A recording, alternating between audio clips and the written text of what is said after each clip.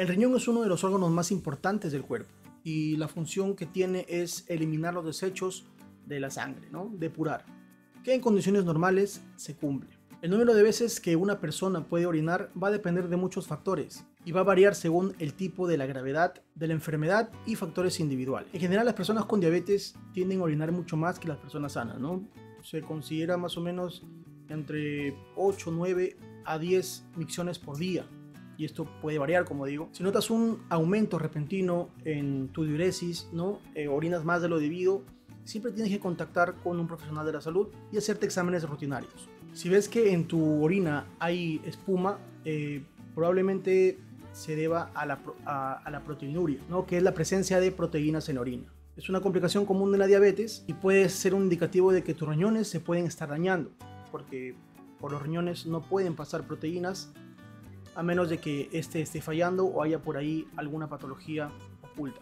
Como sabrás, eh, cuando una persona tiene niveles altos de glucosa durante mucho tiempo, eh, los, riñones van a llegar a un cierto punto que ya no van a poder filtrar toda la glucosa y esa glucosa se va a quedar almacenada, causando problemas secundarios, como puede ser la nefropatía diabética. Al tener la persona nefropatía diabética, pueden haber síntomas o signos como la proteinuria, ¿no? proteínas en orina.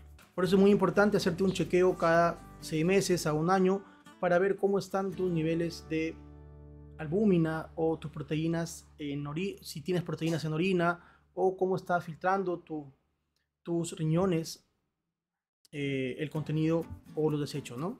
Ahora, si no tratas la proteinuria eh, a tiempo, pueden haber enfermedades renales crónicas, ¿no? Por eso es muy importante que consultes a tu médico y te hagas una prueba de función renal. Ahora, si orinas sangre, es un indicativo de que tienes hematuria, sangre en la orina. Y también puede ser causado por diversos factores, como por ejemplo infecciones urinarias, eh, pueden ser cálculos renales, tumores o daño en los vasos sanguíneos de los riñones como por ejemplo en la diabetes los niveles altos de glucosa en sangre pueden dañar los pequeños vasos sanguíneos de los riñones, lo que puede provocar la hematuria. Y ese también puede ser un signo de enfermedad renal relacionada con la diabetes. Si estás orinando sangre, es muy importante que visites también a tu médico para que te haga una serie de análisis y pueda descartar la causa que está ocasionando dicha hematuria. Dependiendo de la causa subyacente, el tratamiento puede variar desde medicamentos, cambio de estilo de vida, en tu dieta o en casos graves cirugía. Es importante también tratar la hematuria para eh, impedir que ésta siga progresando y que pueda dañar tu riñón. Como ves, la diabetes es una enfermedad en la cual puede causar a largo plazo